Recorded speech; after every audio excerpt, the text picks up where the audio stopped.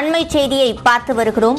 BCCI முன்னாள் தலைவர் சௌரவ் கங்குலிக்கு தற்போது ஜெட் பிரிவு பாதுகாப்பு வழங்கப்பட இருக்கிறது. முன்பாக வை பிரிவு பாதுகாப்பு வழங்கப்பட்டு வந்த நிலையில் தற்போது ஜெட் பிரிவு பாதுகாப்பு வழங்கப்பட இருக்கிறது.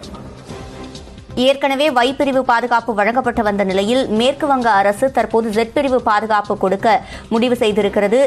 ஜெட் பிரிவில் சௌரவ் கங்குலியின் பாதுகா- பாதுகாப்புக்காக எட்டு முதல் பத்து காவலர்கள் வரை இருப்பர்.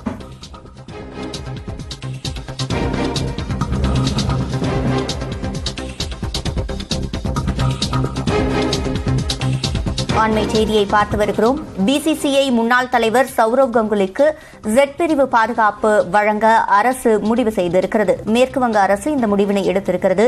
முன்பாக வை பிரிவு பாதுகாப்பினை வழங்கி வந்தனர். இந்நிலையில் தற்போது அது ஜெட் பிரிவு பாதுகாப்பாக வழங்கப்படுகிறது. ஜெட் பிரிவு பாதுகாப்பு என்பதில் சௌரவ் கங்குலின் பாதுகாப்புக்காக அவருடன் எட்டு முதல் பத்து காவலர்கள் வரை இருப்பர்